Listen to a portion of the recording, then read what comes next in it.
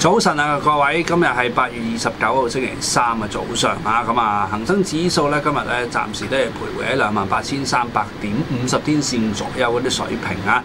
隔夜美股冇咩特别事发生，美国同墨西哥之间咧签订咗新嘅贸易协议，就停止贸易战啊，对于整体市场气氛咧都有所改善嘅。人民币离岸价暂时企喺六点八，大家唔需要太过担心。预期后市都系震荡向上吓，内房同埋内险应该都仲会。早上啊，咁啊，留意翻啦。